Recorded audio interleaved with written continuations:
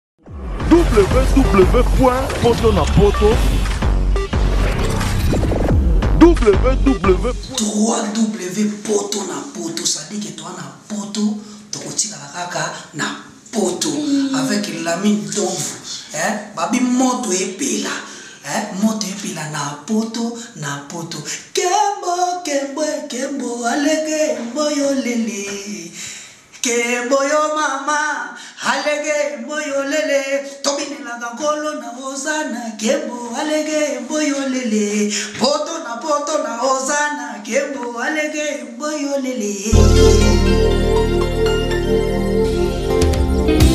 Les secrets de la réussite de vos événements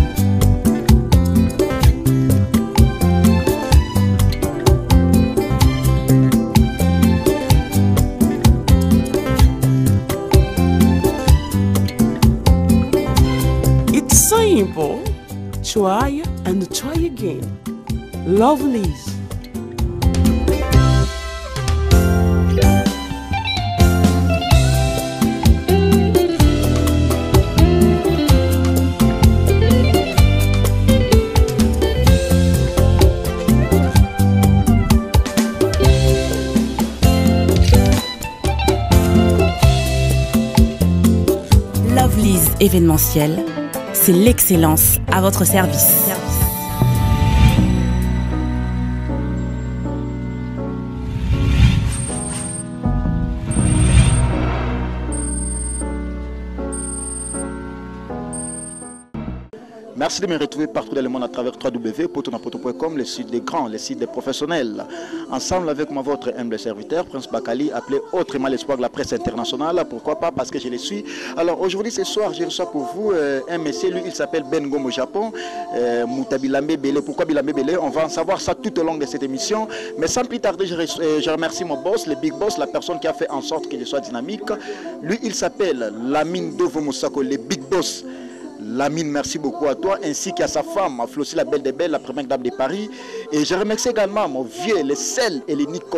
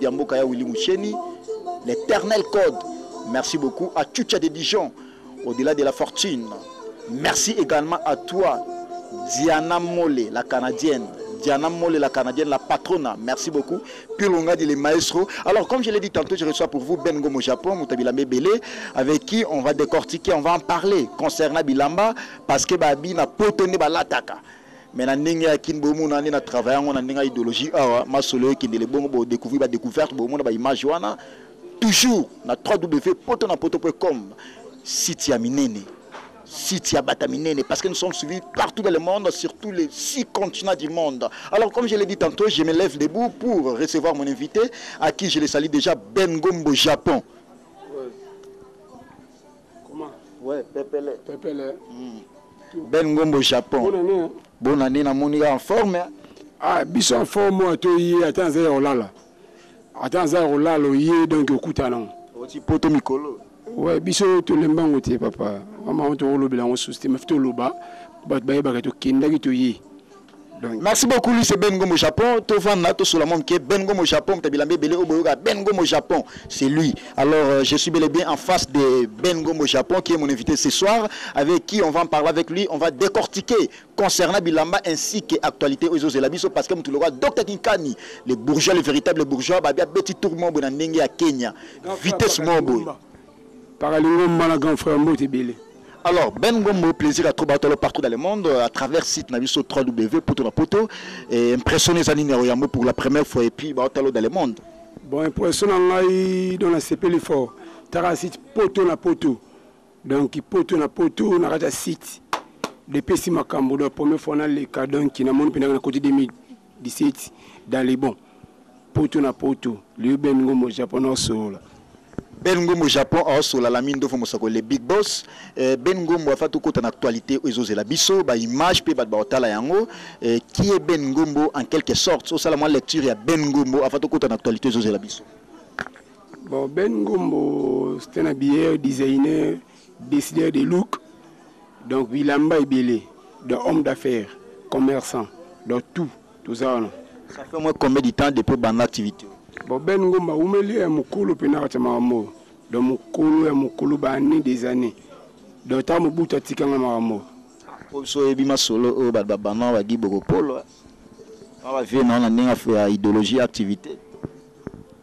Te wana masta nanga vie nanu te to justifier na place wana. Te na bi vie par rapport ya activite bosala.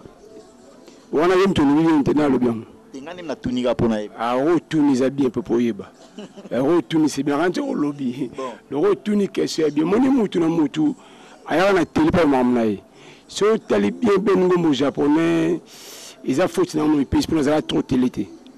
Imo yebi na nenga faute po ya manga donc na bini so te mais ezalaki penda po epma pasi po naza trop television te sengai ba docteur ba benga oui ba fortina ngombo ya ba telephone bazo benga bon asali ka fona ya za batu misu ba profiter ba loba ba banda kala mon comprendre mutu na mutu bi secret na ye na motema comprendre mambo kanga mambo na zo bisa yo na bango sans polemique eza musu azo loba pa welisa ko loba eza musu azo loba zo la verite mais mutu na mutu ayebi secret Ya mama alobaka. Donc soki na comprendre yo obanda masolo liboso na bango mais ndenge ya tele bango babanda liboso na yo.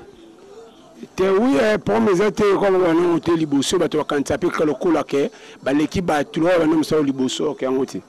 Alors Ben Ngombo lelo oyo bato oyo totangi wana na bandaki na Guy Bokopolo tokoki kota ba Dixon boutique bango bazalaki vraiment trop influent parce que ndenge olobi babandaki TV liboso na yo mais sur le plan actuel Kombo beaucoup plus eza Ben Ngombo, même ba musiciens Ben Ngombo. Alors, idéologie yango aussi na partenariat na bango ou eza parce que oza massa ba musiciens belé s'il faut le dire.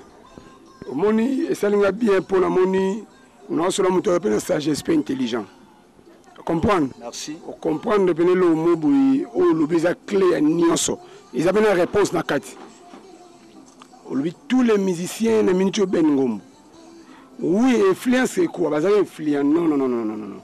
Influence, t'as sur la télévision. Mais l'actuel n'a marché. Comme au piano, on a beaucoup plus que yo. Plus que moi. na nini na to lotanga bakombo oyokana wana bani tozonga bani eza le problème eza nini faute ezali ya nga mona azali trop tele te comprendre mais tomoni soko trop c'est trop 2017 ofilo revese bato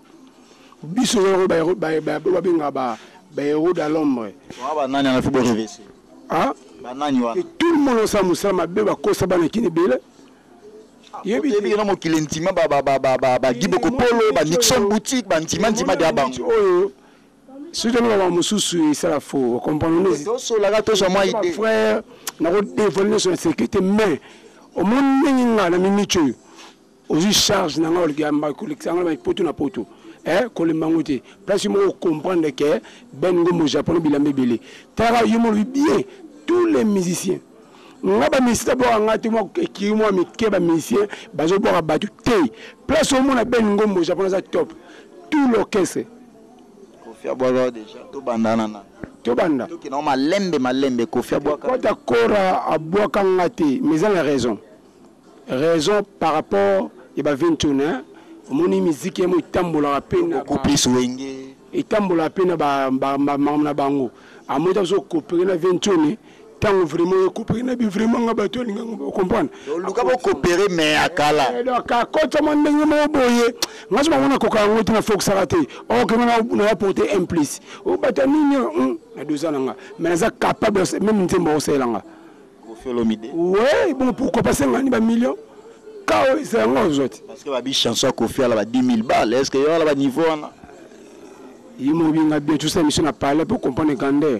Zwa bilambo eza. Zwa bilambo. Eza la ba image ala to sola entre ta ba image. Nga faute. To comparer te mais to sola. Vention eza parmi ba grand monde.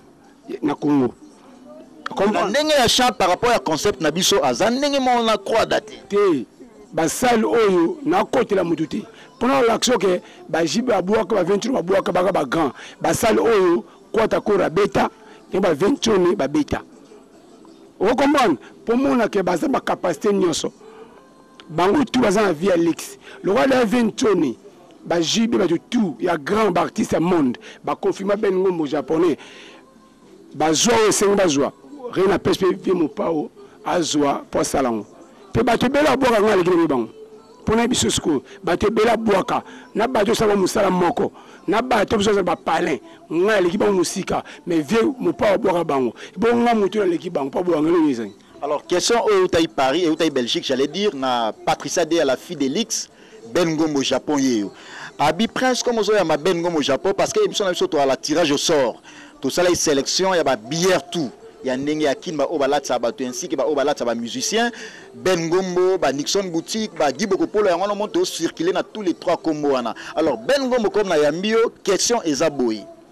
Oluka osala relation beaucoup plus na Guy Bokopolo pour que a brancher yo na ba musiciens. Yo alaki beaucoup plus fort mais nanu kaka. Mais monde wana ya musique ozalaki penza te. Ce que nayebi te wana nani ayebi si yo bongo. Ba nani ayebi si yo mama ndenge wana faux archi faux leti lobi. Leti lobi bana ndeni mutu mutu aluka asa carrière na ye. Mutu na mutu omutu oza ba bami. On est aussi des frères. Tu comprends?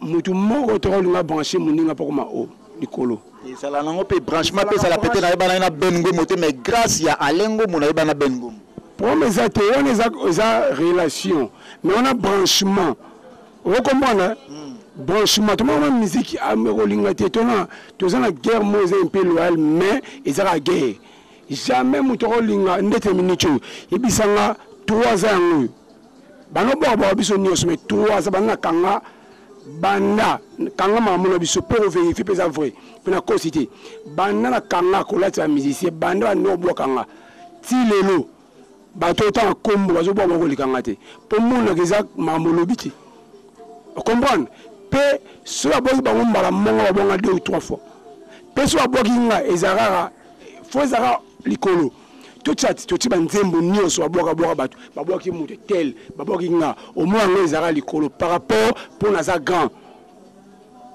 soki moto alakisi yo eloko fa azalaka likolo na tioko ye oleka moto te ezali mwa mpasi mpo moi eza lokuta comprendre mpo nga bakonfirme nga ben ngombo japonais bilamba ebele C'est comme si de legende tabano beaucoup plus c'est habile. Binde mta lakisa nzela penza. Te bon bill pena ya ndoko fula pena pona kanga. Hmm. Ye pena kanga silika. Patrick espace afongola piste po aya palin amona wa mona. Bila teti eh.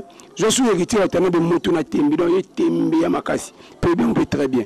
Mais on dit A bilamba ebele tozo esila te o comprendre apo amoni pazo bengaka ba carte ya Ben Ngombo ya ndenge nini wata oh, ba musicien ta voilà ta idéologie boy seko na moni yango siko idéologie yango j'en profite na poser question clin d'œil spécial à toi moto na tembe mais c'est le chanteur la pulga héritier Watanabe merci beaucoup et na profiter na poser question oh siko ndenge olatisa ba musicien na et à la partenariat ou fair play osala na ba masa na te bon mosusu eza partenariat mosusu eza fair play Congo wana monsieur biso congolais toko tikala na bilamba yango te ouais ebongo misala ti osu basusu wana nga te wana tasu bango nde basala bongo la plus que mingi tasu ba frère osu a charge ba orchestre na ba lati ba tikali na ngo mona te non ya perte te to ma to ba mi te to ma elite soki te moto to ni mamokala Soki tosala na loyenge mais tokweya. Yo moko tango moko oza chez ngai awa donc bilili nde fe oloba olongi ngai aloba trop. Dozo mona bilamba ebele collection nionso eza. Collection to eza. Yango na zo linga na mama musu na olinga na loba. Olo compara biso na kombo. Oza awa toza biso nionso awa toza esika moko biso tosala musala. Comprendre? So olongi epa na nga kende magasin ya mutu moko na moko. Banda siko ko compare. Zwa yo tiaka na site.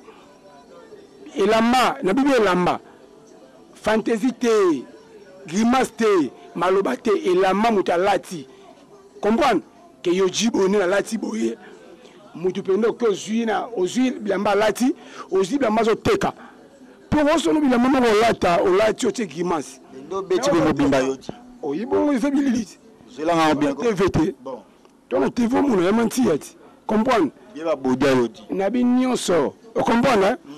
Eza te olati bien oteka ma oteka ma bete nga pe olati pe na chemise otali awa na bika poto ya mintu ba juge ozui pe ya bango je ti na site batu ba commente omona ke na ko beta bango mabe na bote pe kontaka nionso omoni elo musu na osenga musu oloba trop mona mabila mona senga penda ba juriste baya na ndenge fo tobanga oloba te sala da defi wana Nga nde nazo senga ba pesa bango prime te. Bozo senga Nixon boutique ainsi que Guy Bokopolo defi. On est des frères des amis tosololaka bien mais makambo ozo kende oyo aleki oyo aleki aleki oyo to mbanga pasi comprendre mpo na bien éduqué nako dimina bayaya te na éducation maman na nga ntolo tolo na pesanga comprendre mais Quand les vieux Zacle asalaka ba intercommunales ya ba leopards ya ba sapeurs.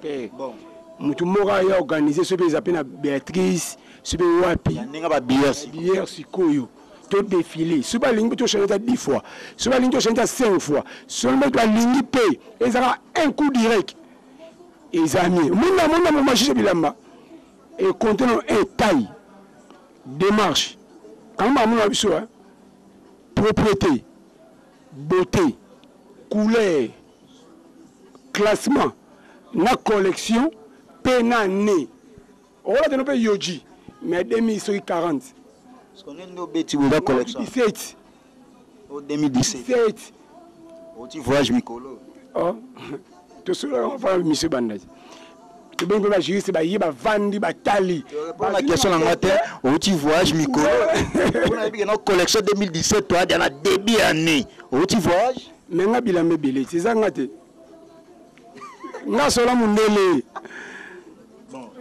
nasola mundele so mundele nga moni nga boye ablo nze collègue na biso bata pemba ya manga manga mumu nde abanga bata mundi to ah, wala na moni yo chrétien bango eh. osola nga chrétien ata bika éducation mama nga ntoli bapesa nga chrétien bigi boye pola la pembe te mais babenga ke nzamba chine mais tosa émission ya ben ngombo te ya ben ngombo mais to se référer to se référer pour que tozwa ba point important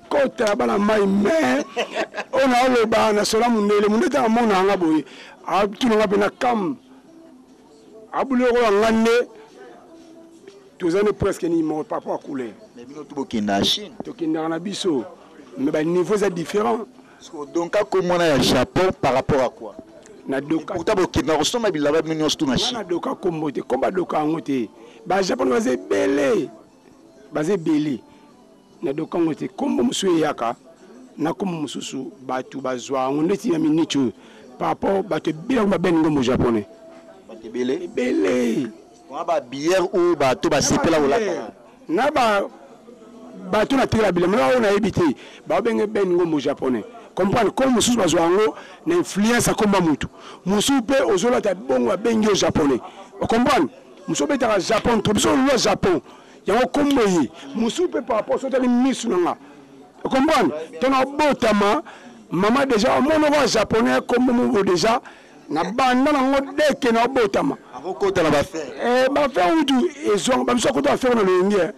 c'est-à-dire c'est-à-dire awuti na soko toba bamboka moko boye anosala na biso bilanga mosusu atala na biso makayabu akoti kaka na biso Tango oboto babi mwana wa japonais donc deja makila ezala deja. Bato bakota ba fera na ndenga loyenge okoyeba bango.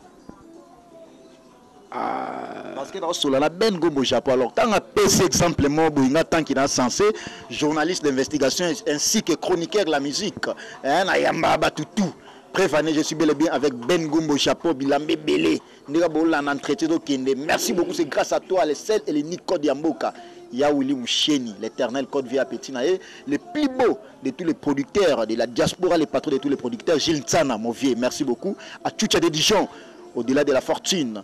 Diana Mollet, la Canadienne. Diana Mollet, La patrona merci beaucoup. Merci eh, Ben Ngombo Japon naomonaka bayoji ezoloba awa ah zwela baimage ala sambwisa yango naomona bayoji collection 2017 na ozwa ata batv atwalaka na tv bamanti ya likolo foyaka japonais apparemment collection c'est comme si jb mpiana abetaki yango dela 2016 te abetaki papa chéri l'homme qui a milo na nkoko Papa Yoji. Ndege ya bwaka pete. Te oh, yo nde yokata. Eh, ba de match eza no mama na cœur. Balbum mosusu elandi babamba deja na tongo.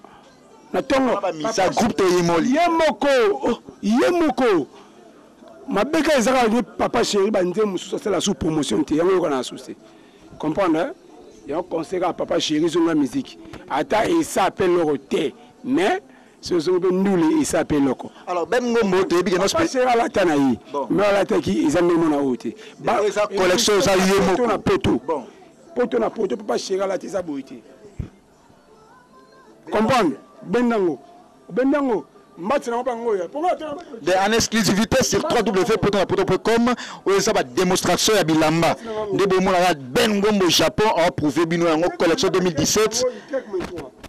de collection 2017 toujours na cadre ya forme yango sikoyo nayebisi yo ke ezala mie mm. osala émission awa okende bambakomba masta totangi sikoyo mm. eza so obengi bango soba biso te na oza prete nga mingi nga briske obengi bengi nga so bengi nga briske pas tosala émission sikoyo tala collection bakozobelama bango ndako bakotya sikoyo me ngai eza na ah, oh mais toyebani ti Alors, lui, c'est Ben Gomo Japon, Bilamba et Belé appelé autrement. Alors, Ben Gomo Japon, tu as une spécialité, Namino, et ça beaucoup plus Chine.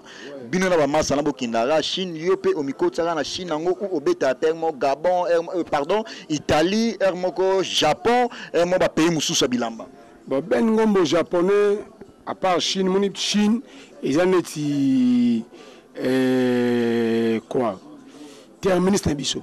Comprendre? Nemu tio base ya Chine mais par ça toza ba bière, ba bière oza kaka te pays moko faut tokotaka ba recherche ba Turquie, ba Italie neti naza na Rome kala mingi tawa bani fana ke sous sol mo isama na Italie mais di kaka mo ba mamwa ba empêchement on a kete mais na otis kota Turquie na minute oyo Ne nayaki mais ti ba fevrier ya bana Paris Yannick Ngoma Clistel Blanchot Amigo mon petit, pro, mon petit frère propre mokonzi ya cette commune na oya Paris fevrier awa mboka ba Nicolas Onyenzi Yannick Onyenzi Nicolas Onyenzi le plus aimable alors Ben Ngombo Japon euh, Question moko ya curiosite oyebi ba sapeurs ya poto oza bière oza sencer oyeba bato tout babetaka forme est ce que na ndenge ya poto okotangela 5 sapeurs oso otali ma lelo ma boye okotia motu te oyo okotangelaka bango meme 5 nakotia motu te ah nayebi le pourquoi natuni bongo e wana otanga susu te nakotia motu partout baka kinshasa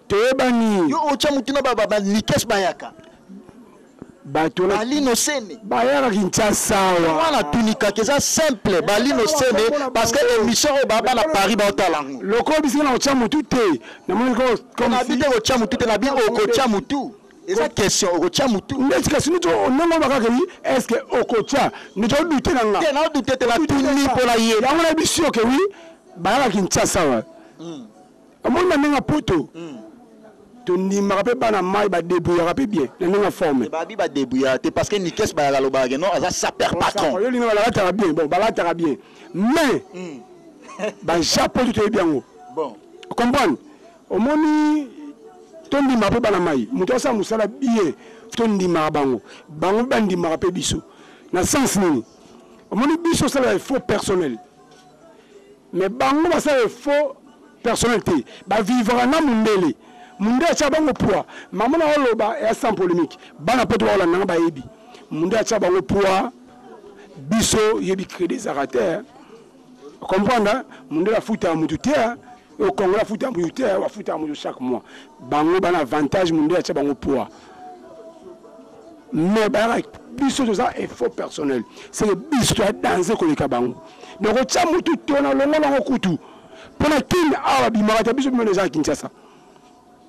comprendre oyebi ke alino sene ayaka kini bayaka kini biso nyonso tv eza wana bakuluaka eza tomonaka bango te mais so azongi poto Bakangaka fort na boyi bango te na ndenge bango mais ndenge ya confinement na poto wana ndenge oloba ba kopia Kinshasa Kinshasa ya munene Kinshasa Congo ya munene yebe obrenie obimi siko place yango na yango siko emonza ndi ba tricage par rapport na Kin omonani te na ville partout ba boîte nyonso partout eza na église soko ta boîte osambelaka te na eglise omona te soki okota eglise oyo ata football omonaka te sikoyo soki oke poto bagangiso na komprana yango te loko alino sene mwana komi na kina amonanaka te alino sene nayoko apa fule fule jogo fule oyo ata mwana rumu ke ayaki seimonamonana te Après emission moko na moni bon alata pe bien abeta bombo ba parada ya bien pena mais oh, mais biloko na kini mona te nde na poto emonani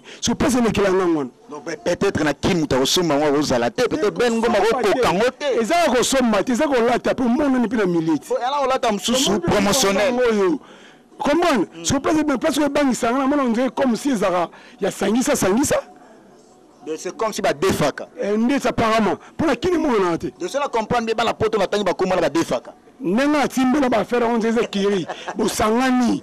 Naso na kosi. Alors message particulier, message. Soli na blouson mo boye.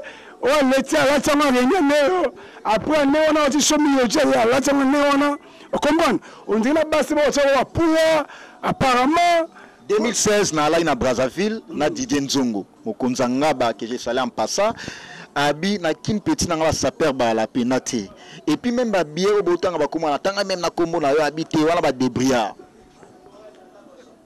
Nani koma nani koma nani nani kombo ba nani kombo oyi bien te Didier Nzongo mokonzi ya ngaba na yebi nani te oka kombo na te kombo yango ah faut na vérifier wapi na wapi ya yebi ngai siseke na adresse na aleki ye o oh, me yango na kasi o oh, ngai nayebi na ngai ye te me ya yebi nga oyebi nikes bayaka nikens nayebi par rapport ya mosi oyo totanga baspect ozolanda banikes olanda banzela banikes te aspectoyala momo baparence bose ressemble na aspect babotamaka nango okona oluko basala yango mpe basala yango mpe oko créer yango mais roboti mais eza danze eh, osala yango boye oleki ba niveau soki bebe kakis fortina ata soki ozoya omaka moto oyo asali te babota ye bongo pembeni omona tisha mo général omona mpena yeye comprendre bafokisa te eza nature Oko cree na yo mais soki o cree omona kaka keba oyo beta rouge moko ya liwa bikreya kreya. Eh, lokola ba nikes bayaka na ba forsa na bango. Te bon omoni nikens nayebi ye mais nayebi ye par rapport à présentation moko boye bapresente biso na awa na tona na tv tokotanga yango boye ekei ta mosusu na minute oyo ekotombe avai na bato moko boye ekei mwa bien te comprendre Presentation naso na comprendre yango bien agafaki mwa moke. Te akogafe te ndenge nayebela ye mutu oyo asala apresente ngai Obanda koyoka. te koyoka te ngai nazo ngamba koyoka te nazo ngamba ya presentation Bon.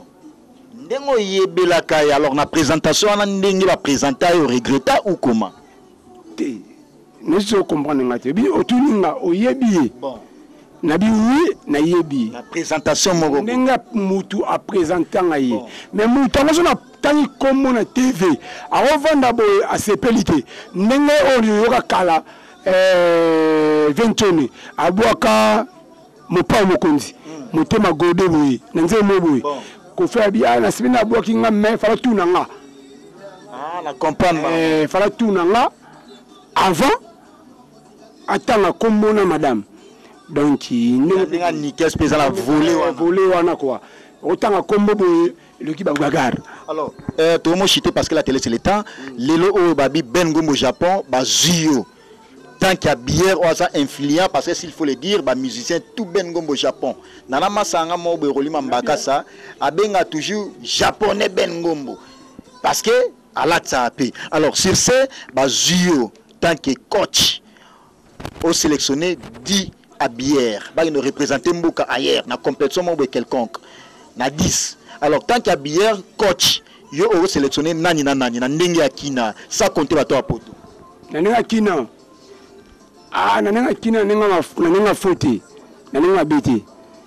Bato bazo dépouiller trop, basape ebele na mito ya moke, donc biso tokokoka te. Tangela même 5 ekokaka te, ntango soki nakozala nga moko yo moko toyebi keno ba nixon boutique baza na bato ebele ebele baza mama bi obenga nani ntango nakoma moke pardon s'il te plaît ntango mosusu na mangalo bato na bakosa ben ngumbu japonais bilamba ebele ayo tya boye bota bobi mondiu batie tikanga mpe mamona ben ngumbu japonais bilamba ebele Ah, yo tya boye omoni parametre wana naboyi yango tenaboyi yango pete naboyi mpe te natuni boye bazwi ye parce que oza influence il faut le dire na balbomo nyonso tozobima mais héritier mpe dael tolongolama parce que aza masa na yo boko na ndenge ya fair play mais na ndenge oyo olobeli wana te wana tolongo héritier masa Mais watu batu na wenge. Wenge. Batu tu wenge na. Eh, watu batu na wenge. Ah. Kama pa. Solo pe benda ba joua na la. Kama pa. Ebi la samba pe ba kano mabe. Te. Na révélation na ndenge mission hein. depuis wata longa maison mère okima la samba. Te. Ndo ya la samba pona wata. Te moni la samba okana biso ne lobi eza par rapport batu oyo bazara bataja. Ah, oyebi yango pe. Hein. Yo nini olobi ndio aloba yo ndio olobi. Ndezi kana bien formation. Toko bisi formation pour mibangi sepe. Okenda appel à Zamba. Nga puis atalongwa. Te moi kala la kina la samba. Ah, au moins que bana raison. Na raison ya wata kana te. Na raison ba voyage leke bele. Mais on les a parlé. ya palin ya palin na biso kuwa tokima yango te wana pala papa un jour ozala na poso oyo elia ata mikalakasa ya mama acomprendre ata oyo elalaki na ntongo oyo mama ona na nzala Comprendre pale na biso la samba play il faut te belé. Alors zonga la question nga sélectionner nga même 5 parce que yo oza déjà coach. Ata mike mike wana problème. Ato che dé. Bazate. Nga moko nde na minute yo. Somo nda yoji na émission. Na minute yo na yoji boni ba fongoli siko mutu. Bage luka siko. Baga na bilamba mo bo la propre.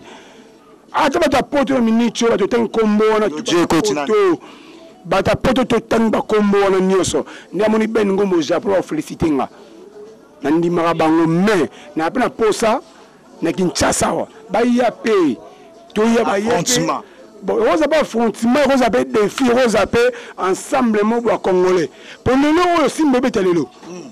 biso tout Yo oza japonais, yo oza swage. Omonaka mwa varese ya Simba, mwa varese ya Simba, mwa sharp ya Simba, pesa na sharp na yo Deni. Comprendre? Biso tout. Comprendre? Ça veut dire quoi? Tobundela mboka. Bango mpe soki toye mpe eza mpe que oui, baye tosala tosala tosala mwa tofanda place moko boye bama ke communauté congolais baolobela mpe esape esape mwa bien ke ezalaka na poto ezalaka limite te motolo na biso eza awa base eza awa lelo soki kombata omona poto par rapport eza souci ya pays comprendre mais soki tala ebele baya passeport français misu passeport belge babundilaka mboka cest veut dire kobana souci ya mboka na bango comprendre pays d'origine yango nde eza makambo donc eza mpe mieux to baye mpe awa banani tu banani tu ozo bakombo ba tous les japon bakina na poto batrésor ngando ebele eh, ebele ebele maza mosusu bakombo bamigo ngombo mokolo cette commune so baye omona pe te oh, ye ana paris akangi cette commune cette wawa commune ayebike oh. na na ndenge akomi biso tutu abala mabele na ndenge akomi na kin toyebi yesu akangi na ndenge apoto yesu na ndenge akomi na kin lider na miala na nga moko ti na ndenge akomi na kin nga moko na ndenge capital nga moko na ndenge eyebi galino senala mwana akomi na kin sikoyo odefendre kin te odefendre poto so otuni ye alino na ndenge afote alino sene mwana mabele biso tu bana babele bakomi na kin eyebi mermos mpasi ah, mokonzi akomi na kin oyo babengaka obosani ye wana yebi ye te na ndenge afote nga moso yebi ye te bato jeti bilemba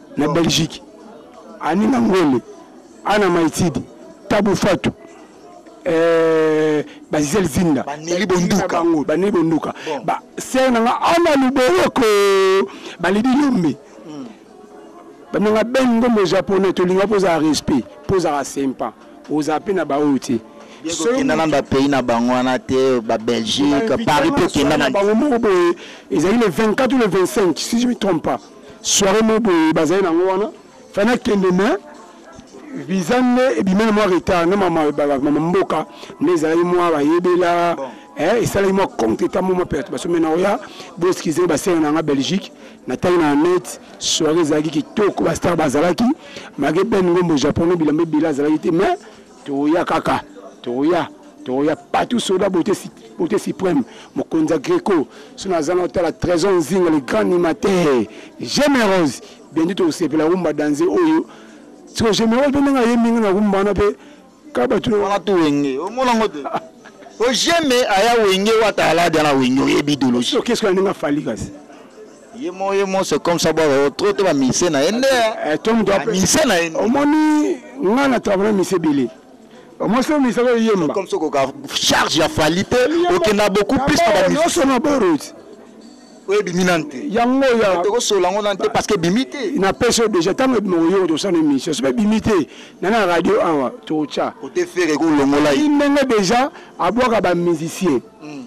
Atika misère ba bwaka nga c'est que dejà ayebi valeur na nga. Te ayebi yango nanu te parce que abwaki yo nanu te peut-être charge na ye yo okoka Yango te. te soki olingi te soki olingi te baboyi soki musicien aboyi nga na travail na musicien baboyi motu mobo e longola ye longola ye comprendre apese te. Wata abwaka yo de la foret abwaka yo. Eh. Mais ya ba Fally eza ndenge moko te. totambola ezali malembe Bon. to deja tikaka musicien abwaka nga mpo abi valeur par rapport à bivalere na nga musicien mpe tala bi musicien mpe akotisa na ye te mais ntango abwaka tiki babwaka motu wana mm. ayebi ke motu aza grand grand ngolo makama bilamba ayebi kolo bongo ayebi te ntango otika na basinino na ba concert asali vocal aboyi vocal na ngai abisi iseboya oboki deja ben ngombo japonais wana fali ayebi tosolo kopala bwaka deja eza kobwaka mobimba me eza kobwaka eza nde contact toyebi kaka biso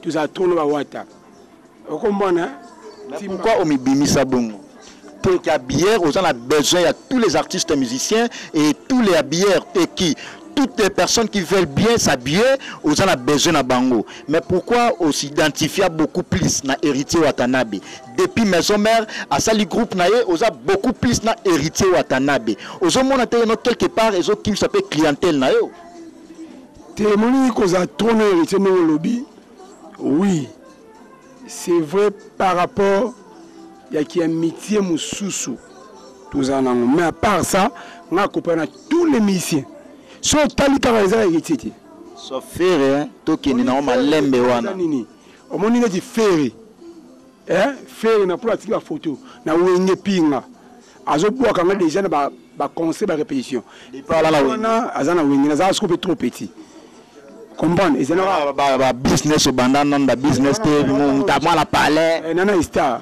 nana star mais na coopérer ba Bill Clinton ba tout tozali a Bill Clinton abenga siko c'est aux ingénieurs à star ouais ngana pele mwana moshetu De Ben Ngongo nde osola masolo boye aza graduer na ndenge aista. Intellectuel. Soki mingi na bato otangi ba computer lokoma sikoyo. Toza za mission na français ba pendant ta 2 minutes. Mingi ba koka ngote. Apparemment bato aso na comprendre bien nde tosola boye bien que boala ba massa mais c'est comme soit la pena moi contre cœur moi boye o sous-estima bango. Non non non non non. ngai namona nzambe moi je prie comme ça quelque sorte maloba na yo odefie bango bosala émission ya français ngai ntango nazoloba Tango bino nga Ben Ngombo intellectuel nga bi oui. Mm. Okoti mba mona bato wana. Natangi yo bato ba nani? Pourquoi yo tshaka bango? Te, bato wana parce que bango nde ba kombo yoka na beaucoup plus bien que omo gagner bango na 2016 na ndenge omo sila yo nde to gagner bango. Tamsu idée ne zaka bango mais tamsu na ba bango te. Yoko ba pe bango te parce que yo nde falo tsaka que no moni bato na zo tanga bango te. Na s'intéresser beaucoup plus na ba o ba batami. Et ko nga zo na nga denifi.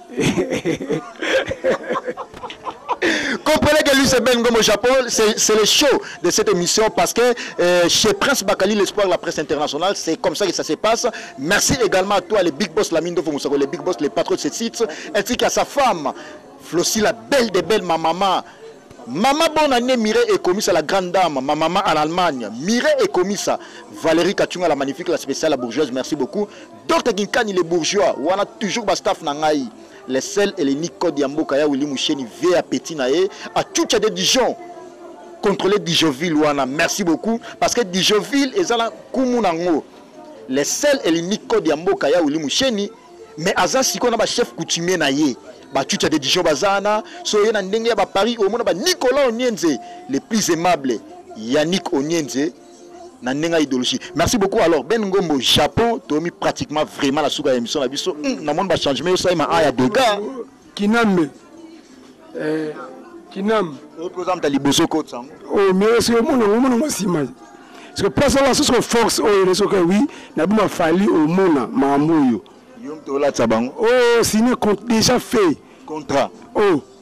Abi atati kilo. Nzemba kuna osu nini? Kinam, ya bino na kati. Fitiri na buba. Oh, fitiri na buba. Ya ngombe ba chapeau. Siko bana oh. kin, ban ben ngombe mtana ngo kaka. Tambola zambi. Et eh, au donke ya ngombe ya mo koma. Et eh, na donke temoni ba artiste eh, to sa dio. Hmm. Artiste aza aza sapeur te.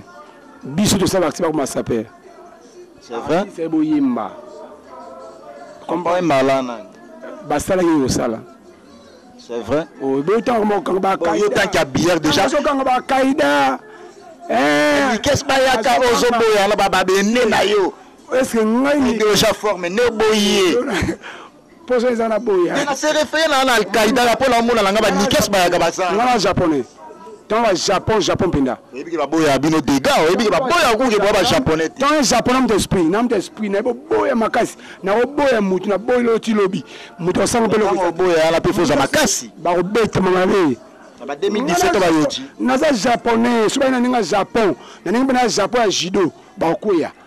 baya so na ndenge aza mpo bilamba bakweya de mpo naso nabanga na motu te so na ndimi yo na ndimi yo te par rapport teke ya kobanga yo te eza par rapport elo mosusu oso ozoboya yango mabe nde na miniti oyo naso nikens nayebi ye par rapport pointe so mo boye eza papa ya kobanga te na concept ya bilamba nde naosolola yango ondimi ye te mpo nasengaki mpo otangela meme 5 sapeur ya ndenge ya poto otangi bango mpo na ndima na poto na mona ba émission c'est bon mais na kina ba mona na te pona ndima bango ba pe Kinshasa na bilamba wana bon malembe en temps to to mima na no mususu to mima na oh yo lakisa biso to leki bango to zana Kinshasa to zana faux personnel hmm. sans mundele sans mutu paramètre na ça va oui wana wana wana bango bazwa ata blouson ya combien ko defango wana na ça malembe malembe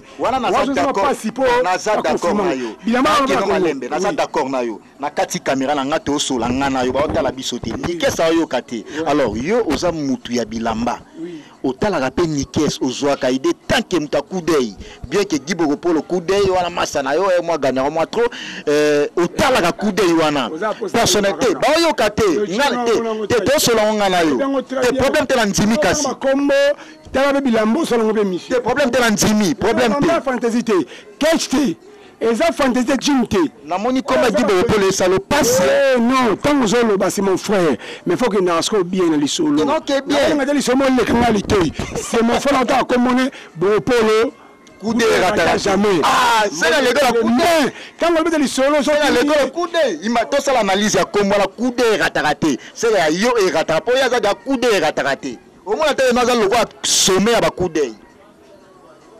Kama pamoni moto akosala komba moto vention abwaka moto abwaka eh, master mo boye libokaka ma campagne bana ma campagne abote baye basilika comprendre yoka lisesio na oloba babi ah vention est ce que moto obwaki aleki biso na bote Vention na bi te eza libanga ndeti masta mo boye comprendre masta mo boye aza aza aza chez bango ba lesaka ye alala na salon ana eloko tasala pe rien Habilleur pe ya. ba bote ba bwaki ye le jeune millionnaire mais Kombo ya nani?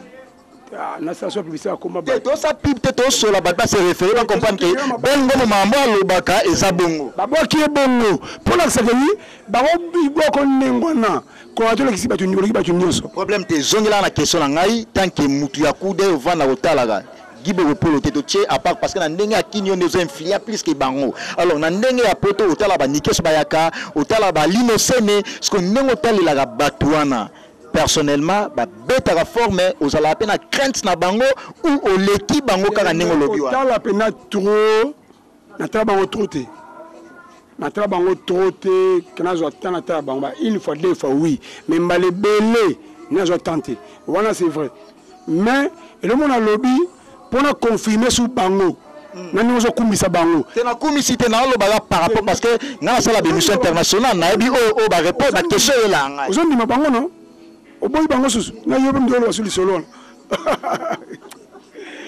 oboyi bango ben ngombo ngai ndenge naopose baquestion natuni boye ndenge omonelaka bango personnellement ozalaka mpe na mwa crainte na bango moko boye na ndenge ya concurrence loyale tomona te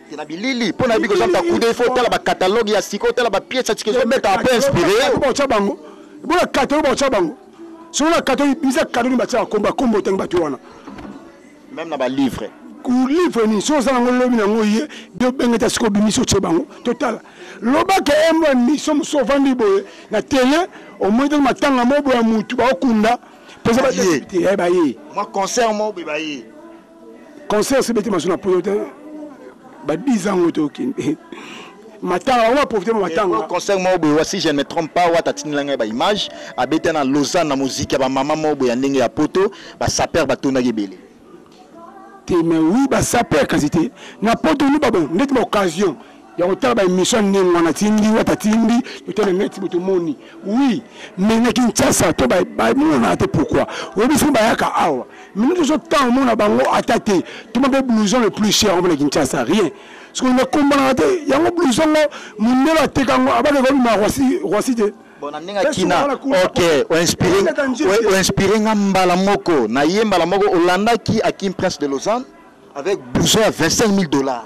Te nalandi te. Na ndenge ya kin. Nalandi te. Sona na nini ondima? Faut ondima. Sala demonstration na ba facture na yango. Mpo bandima yo, il faut ondima bato. Omoni bango mosusu bakoboya yango na loyenge te. so oloba bato eza bien ntango ozomona okoboya yango bato baoseka yo etoile batyaka babomba yango na se ya samesa te so ezobrile ezobrile okoboya yango na loyenge te so sikoyo supposons natalaki yango na moboya kaka boye bato batanga mai non eh, quand même oyebi kombo wana kim prince de lausanne kombo nonnononono oyokama mpe te oyoka mpe te so nayoki so na soki nayokaki na ondima nikens neti nikens nayebi soki bapresenta ngai nayebi na ondima mpo nayebi Alino Sene oui bayaki ya na Kinshasa foule oyo ata mona room abisaka mwa mabela ye Alino mo tozi ntango mona te oui mais oyo natangi te oyo nayebi te nandima kaka ata yo mo vraiment ata koma nyongo ndima akomi na kina yango ondima noko ba Nicolas Onyenze ba ya Nico Onyenze parce que baza bato na yo Te po baza ka batu na nga te mais po na yebi bango. Ah, ondimi bango mpo na bongo mpo nayebi bango ondimi bango mpo na bongo te nayebi te ondimi bango mpo na bongo et non mpo na idéologie ya forme ondimaka na mutu oyo oyebi il faut na nayebi yo après nalandeli yo comprendre Ah pona te na ndimi yo. To na yebi yo te na ondimi no ndeni. Alors to clock de bana sélectionner nga même 5, même 3 na ndenge ya poto oso tali maboye même si ndenge otala kala. Omoni maboye o confirmer que ba oyo ba soldats. Sikoyo ndenge poto. Tiens ma pause s'il te plaît. Tiens ma pause. Ezali nini? Ezali omoni 5 otuna tatu na bani na la cinq personnes aninga poto bato na tozo boya ba nikes bayaka ba lino sene alors même na ndenge alkaïda na ba o oh, tout oyebi ba beta forme bien na poto sélectionner nga même 5 oso vando tala ondima bango nga sikoyo bato wana nyonso otangi nkombo na bango mpo nandima bango na confirme bango bayande kinshasa na bilamba wana mpo namona yango nzeza akotisa bimisa mpo bilamba na kini bamonaka te naorepete na kin bilamanga monaka te so baye kinshasa tomonaka bango te partout na bamonde monaka mona bandule amati na podium na forme mais so kin eh, ndule ya kinshasa bamataka nango te na baboti amonaka te ah, natuna so bilamanga ndenge eza neti cash ya cote misini namonaka ubi eza asangisa asangisa siko mpona ndima bango Il faut à Kinshasa ba confirmer na Kinshasa po oya moko na biso si ba confirmer à na Kinshasa nde na ondimaka oui c'est vrai vraiment ba ba soldat neta Ben Ngombo japonais Merci beaucoup, Luis Bengo japonais. Nous sommes arrivés pratiquement à la fin de cette grande entretien. Mais avant cela, je remercie Paola London, la femme de Lix. Merci beaucoup à toi. Paola London, l'international Babi, moi, soit vivre dans la à Londres. Merci.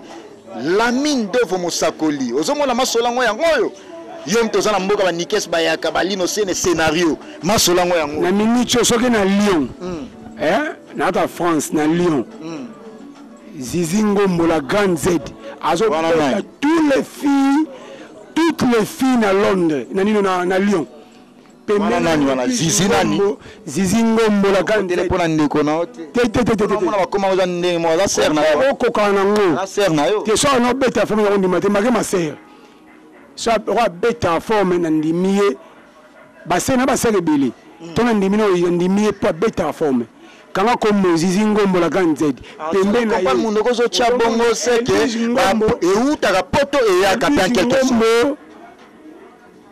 babi management toujours kana point moi question na curiosité moi munoko nde ozotia boye eza parce que baza na poto batindaka ome oh, ngai na ndenge ya fote ben ngombo japonais soki naloba boye na moto akokela te ngo elamu nakokela yango te bami omona miniti oyo bamosusu basala cop foxe yo oza lokola mwana soso me mama ya soso avimbi na se oza lokola mwana soso aotepa te nga moni makambo napesa ideologie Comprendre?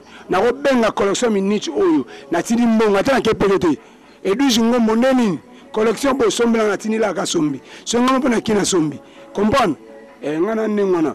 Ezate eh, ya keba keba te nga na mta keba keba te. Alors, question de curiosité, ta que Suisse. Nene Tadiki.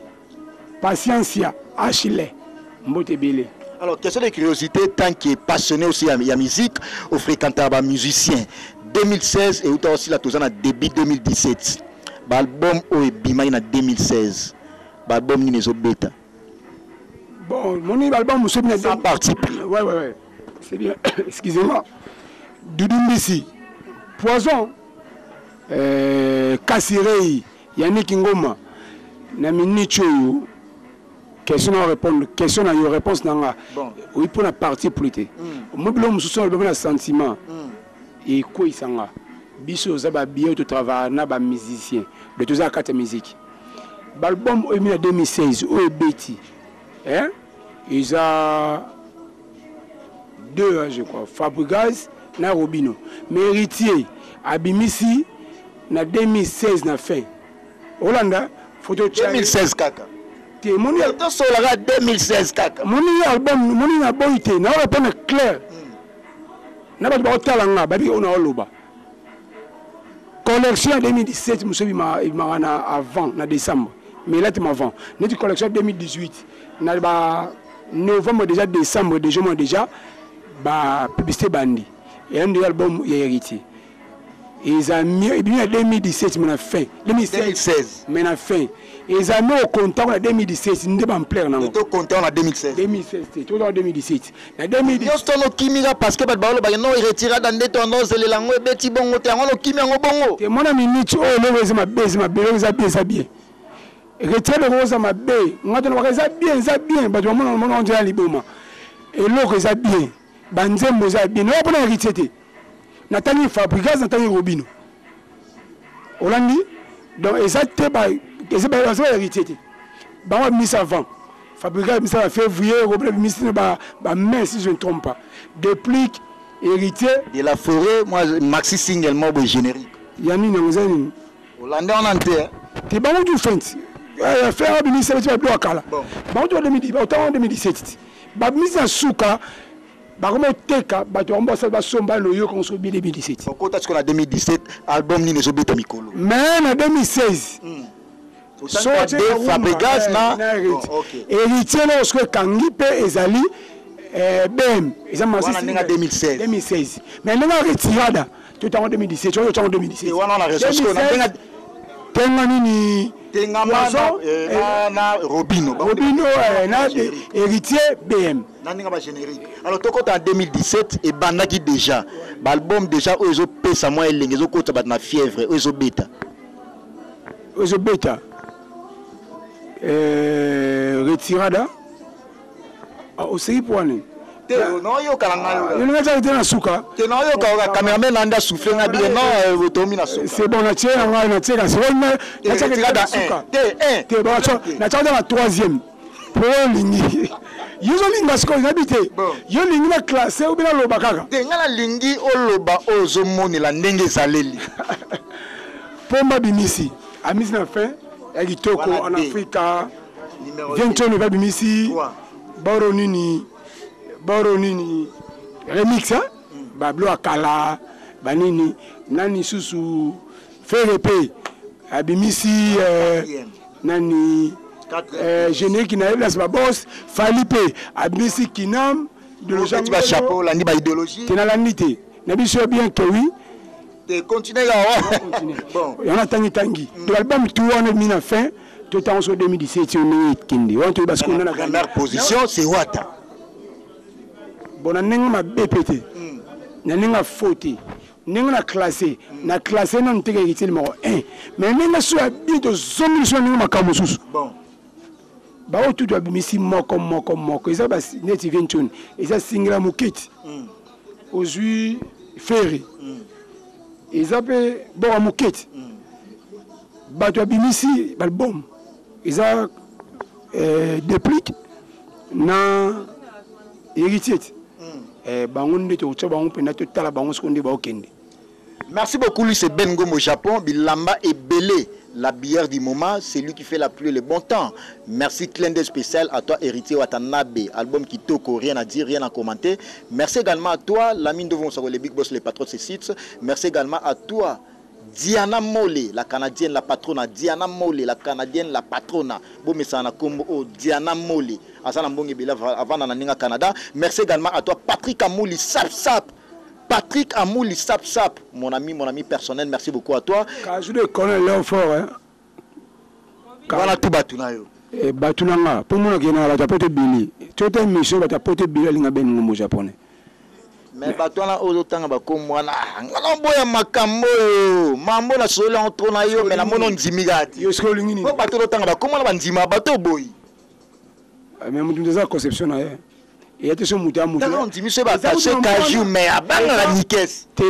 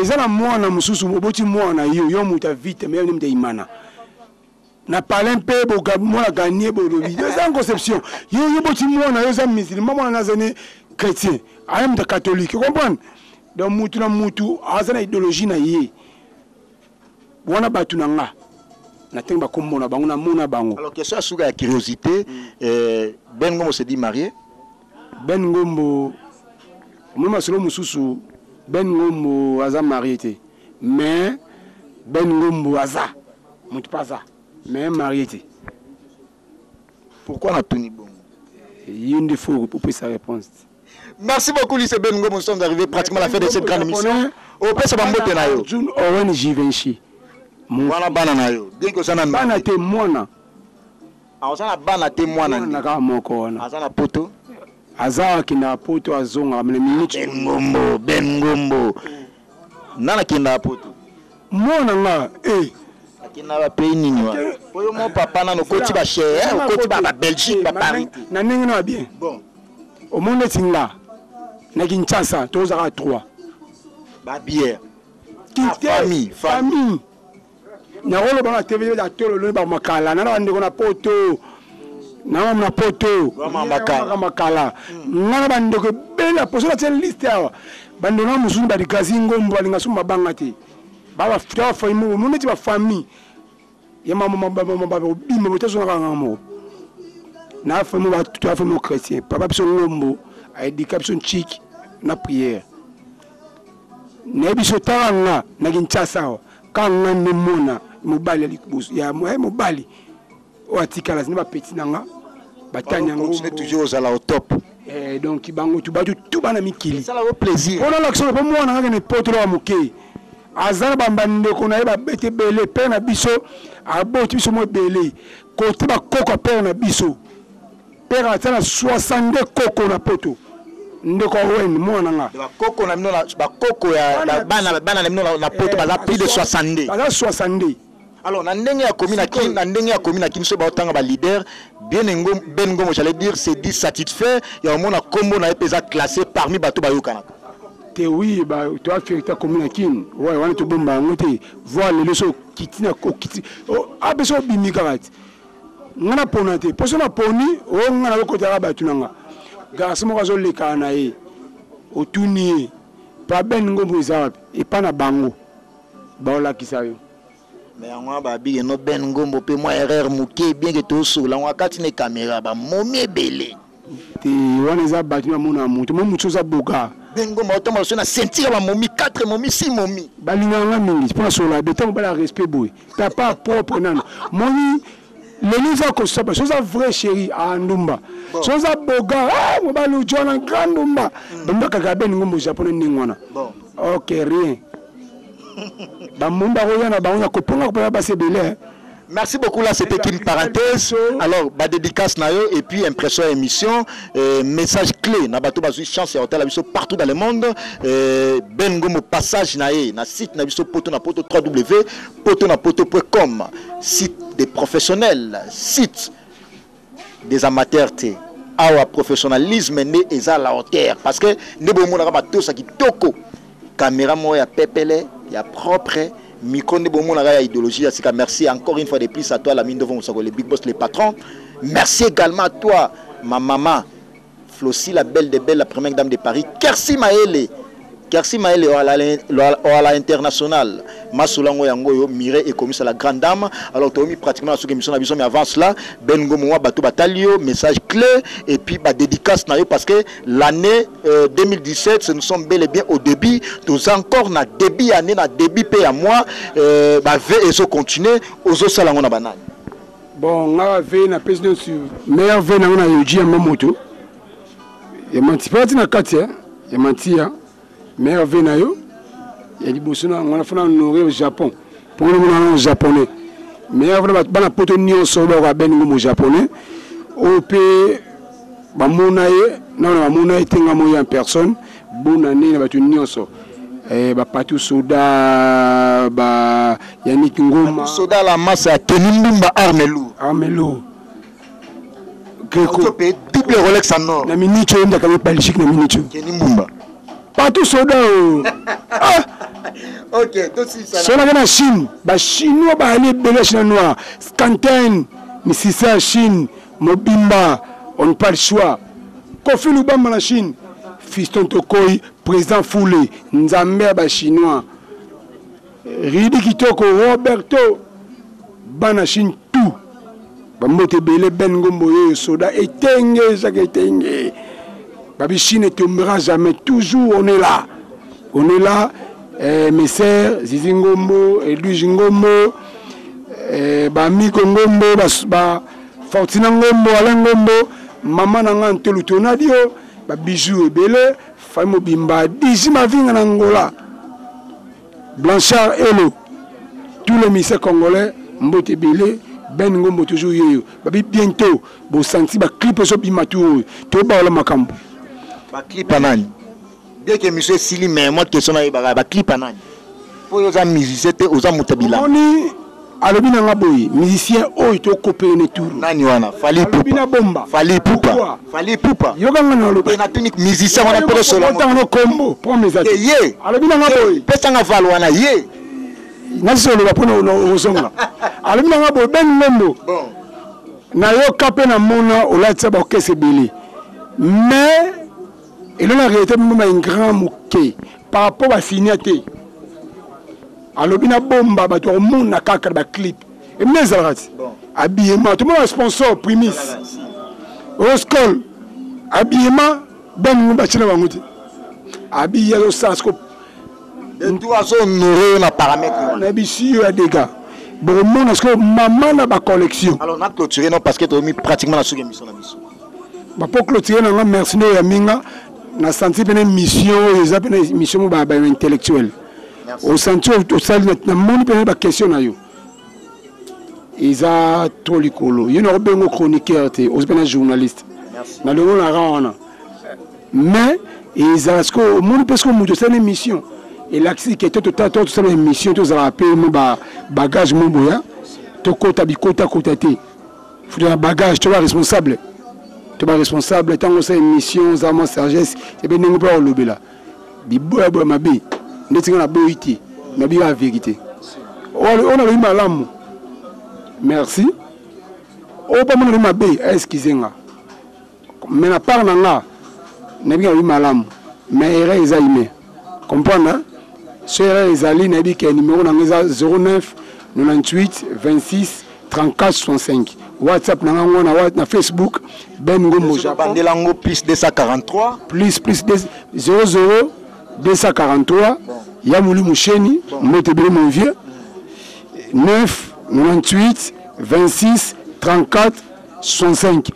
00243 998 26 34 65 awa naza na boutique na na Louvre 83 à part ça na boutique na Bon Marché na Progrès na Flambeau na ville pe susu ba tozo sala na temba wana tozi place moko wana ba réfectionner na ngona no toya nga moso no zwa nga na boma na nino na Huilerie juste na rond-point na boutique mo ezala mais ato na Louvre 83 oyo en de siège ape na base na ndenge marché bon oyo to alingi contacter Ben Ngoma yango wana soki mpe ezali nayebi ke numero mpe eza affiche ya journaliste na biso oyo mpe aza ma contact asepe na bilamba oyo ampa Ben Ngombo japonais asepe kaka koma mpe totinda mpe bilamba na mwa mwa question ya suka parce que tokomi na suka équivalence ya ba yoji oyo ekosa ba combien na dollar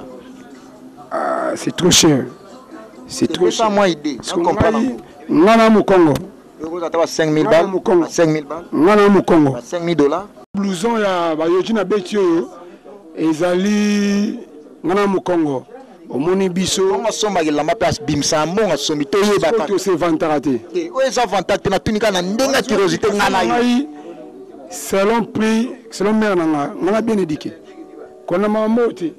Mwana beni ba ba 10000 dollars okoma no te beni yo kimo zoga mwa soni. Yuji ya cher o. Yuji ya cher. Pona tsoka pion 3 pièces. Mais pourquoi osombaki yango ozoboya oloba prix? Ke batali ti o atali elamba ebon marate na catalogue. elamba so beti na internet otali collection yoji omona na beti oyeba prix nango oloba te bakendeka na internet batala nde kasi ti batala te ngana ndenge nakota pembeni na bato te aso eloko ne ya valeur mo boye ya IST aleki yo ya mbongo ebele mais oyo ke ndeti ya biso olati elamba ya plus valeur ba range mais olobi te so olati elamba na yo bato bakotala collection ya beti griffe wana bakoti na google bakoti na net babeti ebimisa prix namoni boutique noso oza na 50 dola osomba eloo moko mpo namoni bafille bafille de luxe baza belodi bevodi nsola bakoti awa namoni badolar oyo ebimi awa seke soa na 50 dola osomba eloo moko babe ngombo foli otonda mais na ndenge akonza kotika mboka ya mobo niso efeso ya blaise Soki aye mama 10 dollars ya ali. Te to solo na biso. To na Congo ti. To beta collection pe likolo. Mais to kita moni biso to facilite ba te bele ba na poto afana calme. Ba te bele mo na to ba kombo na defi la mana e. Ebi na clotike na mo so me manga na te ba. Mo so so ko ti ko. Ngala sengo boy. Ngala sengo boy. Bon OK. Kote pi. OK, vas-y. Omoni mo so na poto defi la mana e. To mona ba tike bele. Ana lamba. Leki ne asengi yo te. Fula zonga na ngo. Zonga nde ya kodefa. Ya kodefa.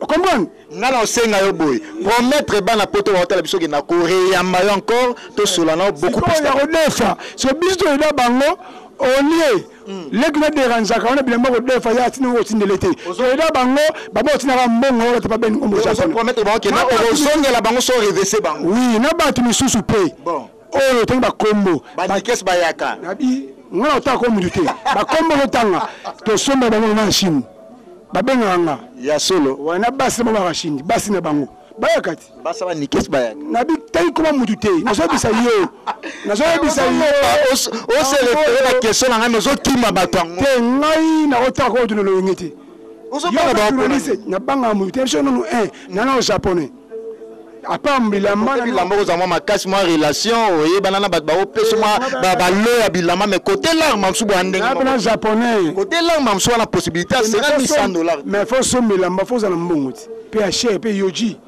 apa isu bolingi lobi oso émission yo soki oyebisanga boye ben naza na posa osanga émission tel jour na collection boye bon ngai nasengi boye émission oyo ekota totala baretombe na yango Yo nde sikoyo opesa nga raison. Te nga na lingi boye eza te biso oya kazu boye tazo mona na bengi deja na defa bilamba te yo luka zuka oya. Nga sikoyo abimela brisque na peso position. Même na palais. Bon. Nga na lingi bongo na banda te bilamba na batu nionso bino ba chez bino na ya chez bino. Se na ye chez bino place wana chez bino se na ye wana. Ye mo mutawata na lamba cher azaka ti yo chez bango. Ezala pete.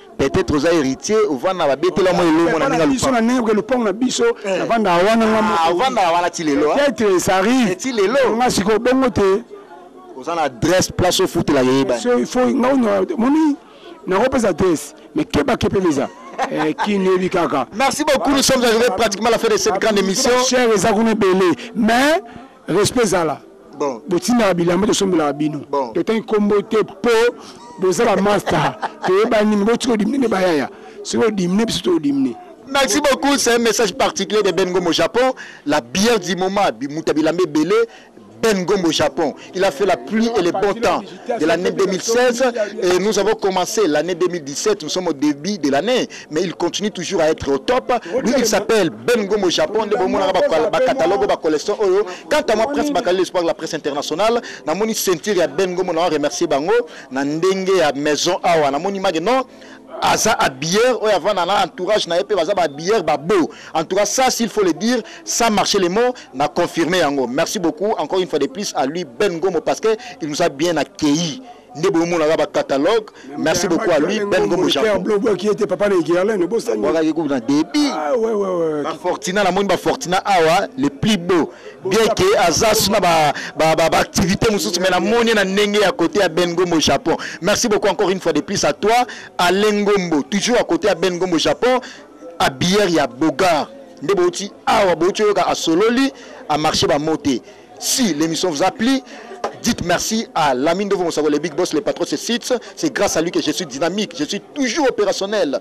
Merci également à toi, le les Nico Diamboka et mon vieux propre. Merci également à toi, Valérie Katuma, ma maman Mireille et Komissa. Diana Mole, la Canada, la patronne. Diana Mole, merci beaucoup à toi. Et retrouvez-moi au prochain numéro avec le même plaisir. Au revoir